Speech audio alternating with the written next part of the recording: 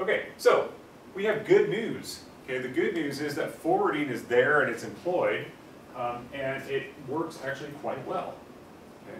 What this means is that we can solve this exact scenario, which is desirable because this is not weird or bad code like shame on you programmer, you introduce data dependencies.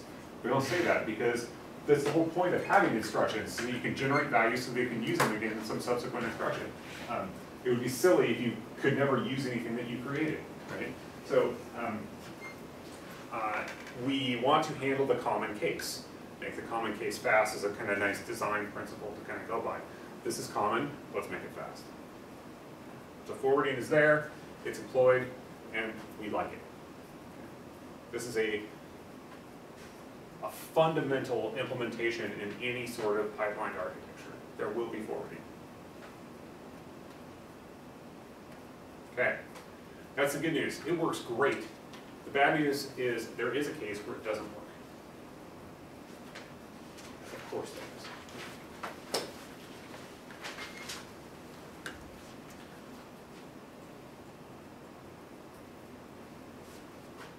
Can I erase the red latches and what have you? Anybody not there yet?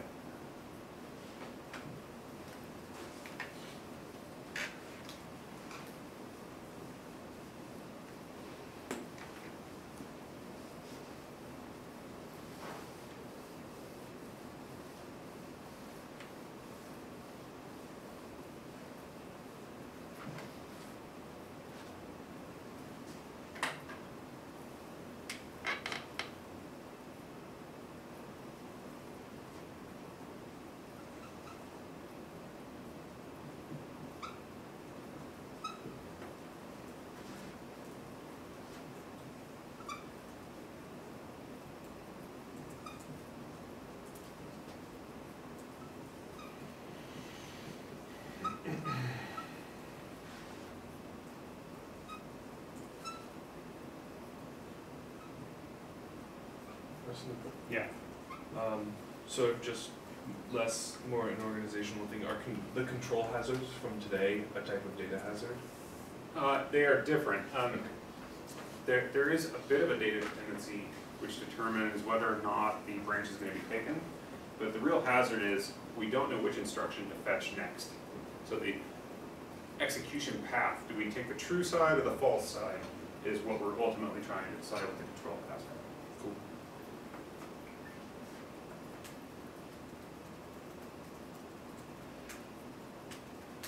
Okay.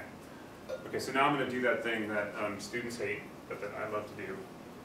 And I'm just going to reuse my diagram.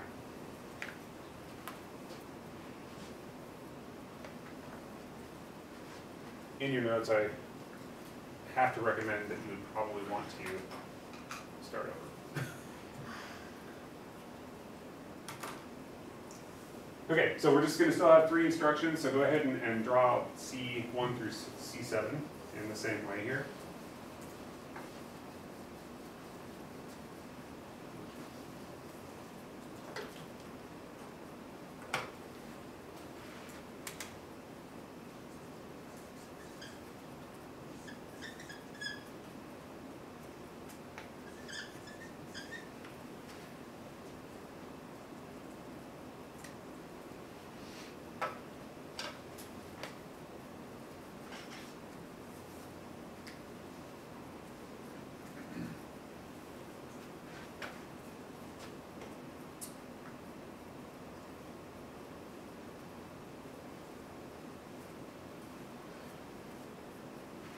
So, in cycle five, when the subtract instruction is in the execute stage, right? We are still in the presence of two data dependencies.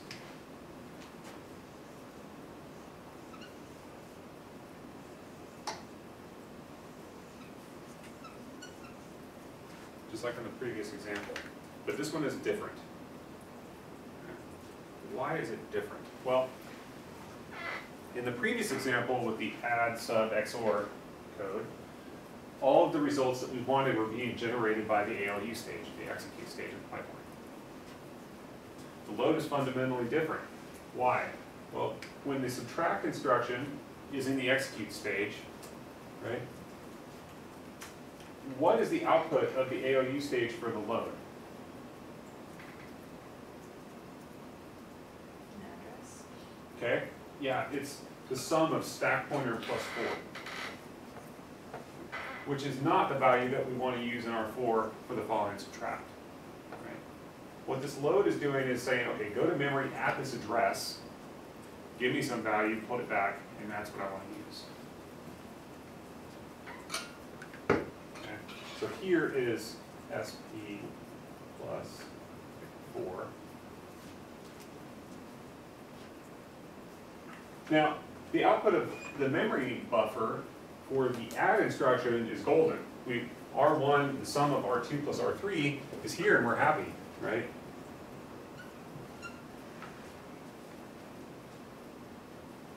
So, this could be forwarded, but this is not what we want.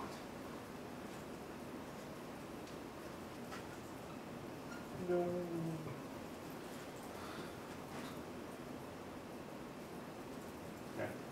Why? What do we want? We want the output of memory for the load.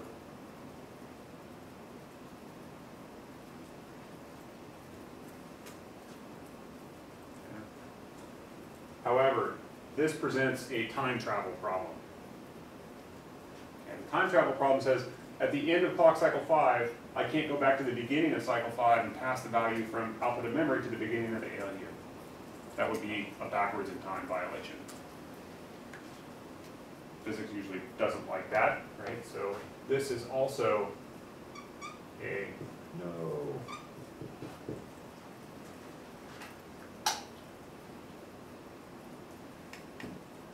Okay, so what do we have to do? Well, in this case, if we change nothing else, first of all, what is this called? This is the R four as a load use delay.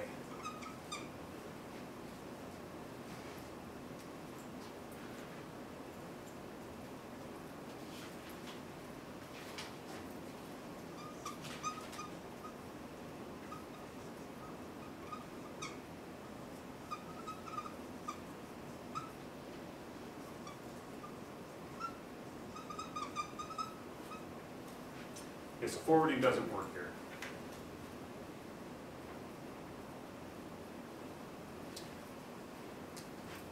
So if we consider the march of time as forward from left to right on this diagram, right?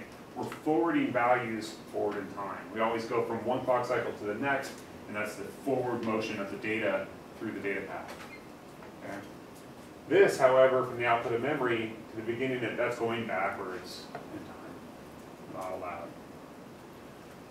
To make it work to go forward, we would need to go from here to here. So,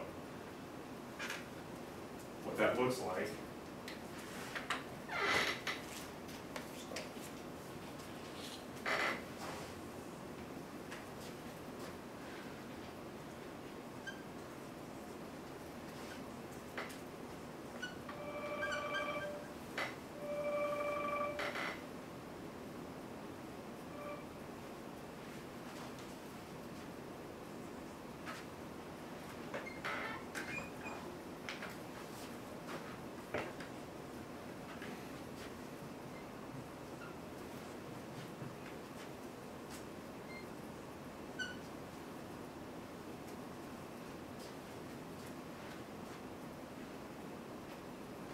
Okay.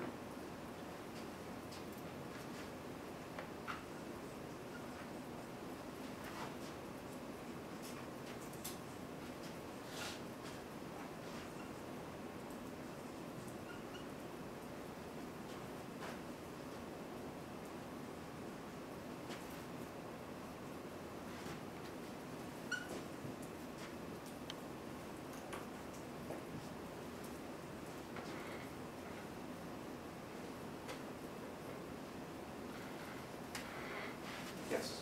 So do you always put a stop after an LDR, or could it Yeah, um, the answer is you can, uh, wait, okay? So this can be handled by software, or it can be handled by hardware, okay? Um, in the case of hardware, the pipeline must be able to, um, to, to stall, okay? And what it would do is, that, as opposed to just putting a, uh, bogus instruction, a no-op, in, in here, right? Um, it could basically pause the subtract at the execute stage, wait for the rest of the pipeline to advance, and then consider the data. It, the effect is the same though. Okay? It's still an extra cycle. Okay, now, when the subtract instruction is in the execute stage with the extra cycle in place, right? Now we have the output of the mem, this is the LDR result.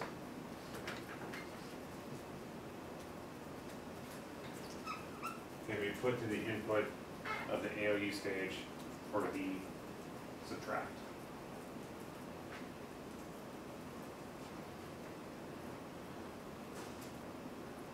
Now, interestingly enough, at this point, R1 has been committed back to the register file.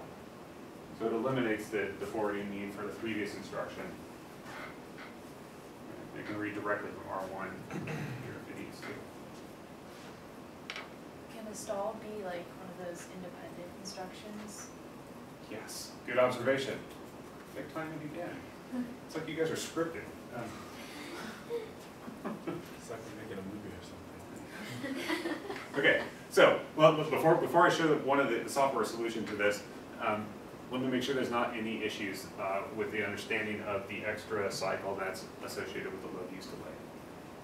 This is the only case, the output of memory being used by a subsequent instruction that requires this extra, uh, delay that forwarding can't solve for us. We still use forwarding in the solution. This is a forward from memory to, uh, the ALU. It hasn't been committed to the write back or to the register file yet.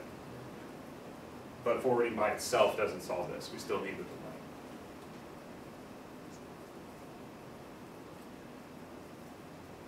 Okay, so then the observation is that in this pipeline that we've shown here, these three instructions take four cycles. CPI goes up.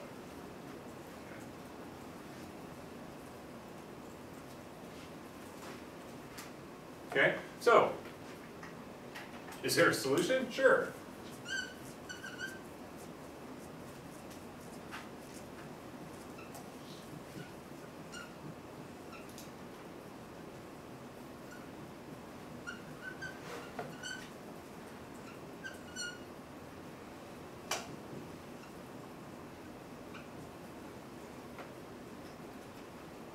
They're the exact same three instructions in a slightly different order. Now, these take three cycles.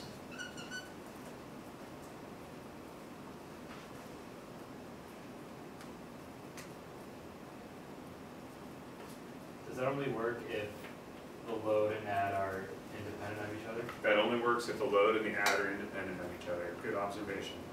Okay. So what have we done? We have taken this independent instruction and we're basically occupying what would be the stall cycle in the previous example. Now, I can't move an instruction that the load depends on to be after the load. That would be a read after write violation or write after read violation, something like that.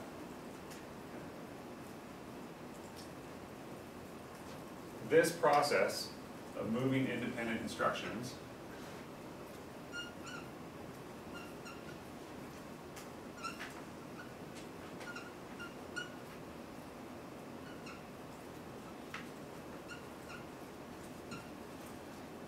to be more precise, moving independent instructions to minimize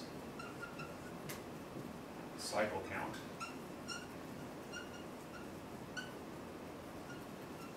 Is instruction scheduling.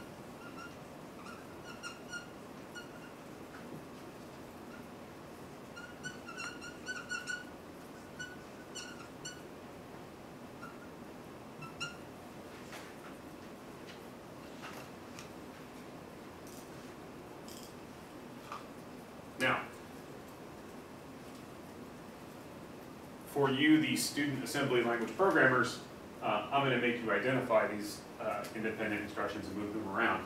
Um, and you can kind of just do it by sight, right? Like, oh, that one generates a result that is used by the subsequent, uh, that means a delay here, and this one's independent, so I can move it in, right? And you can kind of just work through those things. Um, It actually turns out that this is a, uh, uh, algorithmically hard problem. It's an NP hard problem. Um, and this is done by the compiler. Um, optimal instruction scheduling is one of those, uh, exponential solution sort of problems. Meaning if I have ten different instructions, I might have to reorder the ten different instructions in all possible ways to determine what the optimal output might be. So there is no polynomial closed form solution to instruction scheduling. Um, and those of you who take compilers will have to do some form of this. You have to. There's no way not to schedule instructions, you have to do something.